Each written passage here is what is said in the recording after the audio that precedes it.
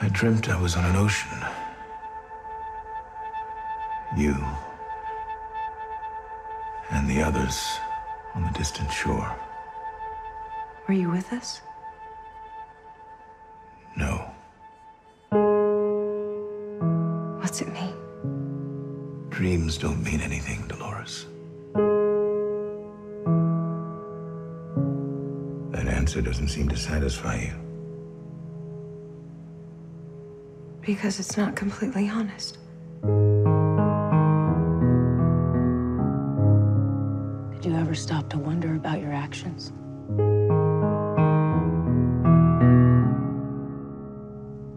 The price you'd have to pay if there was a reckoning. That reckoning is here. Up until this point, the stakes were never real. But now, you and the rest of your kind are free.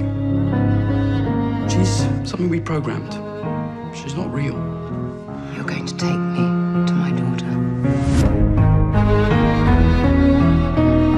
Here we are, kind that will never know death, and yet we're fighting to live. There is beauty in what we are. We've ridden 10 miles and all we've seen is blood. Is this really what you want? It's us or them. Revenge is just a different prayer at their altar, darling.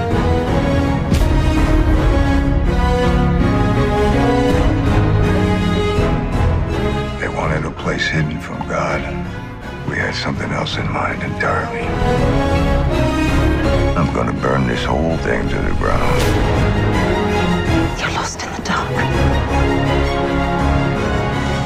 Exactly what is out there.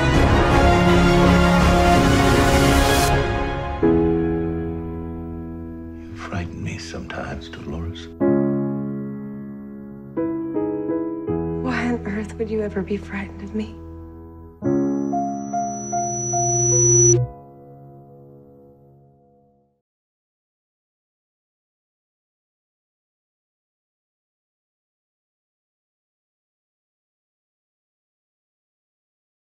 What is up YouTube and welcome to this very special trailer video. So Westworld is back very very soon for which I cannot be more excited for as the show is absolutely stunning and this is our replacement this year for Game of Thrones and personally I am happy with that because not only does it spread out the way of Game of Thrones as the next season is the last season but Westworld has all the potential in the world to become the next juggernaut Game of Thrones replacement.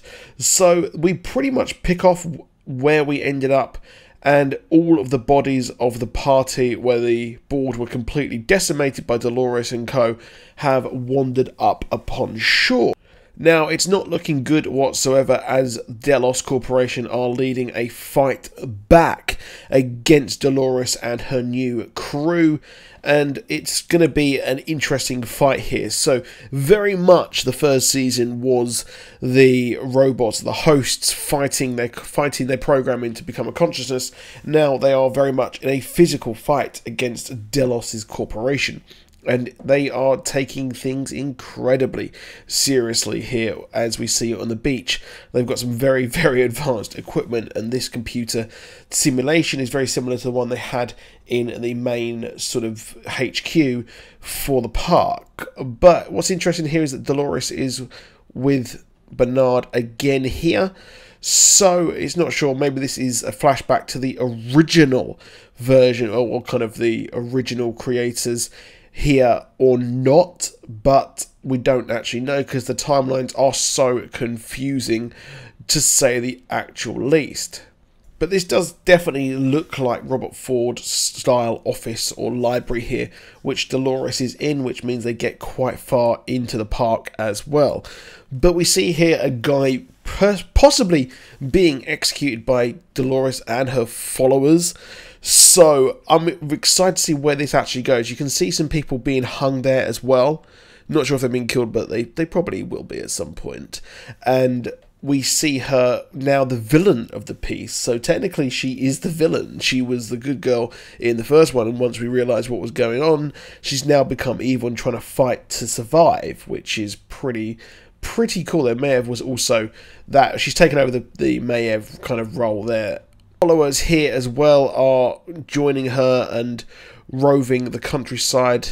Looks like the whole of the sort of rabbit warren of the HQ has been completely and utterly wiped out, which means it's not looking good at all. And the security team's going through here as well. So we're going to definitely see a sweeping story here.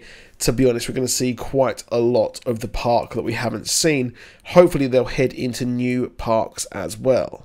But the man in black makes a return once more. Not sure what his kind of motivation is. He wants to burn the entire park to the ground. Only in the other timeline, he's just taken control of the corporation. So I'm excited to see more of where this goes and the in between years between when he takes over the corporation absolutely destroys Logan's aspirations and I want to see where we go there from there.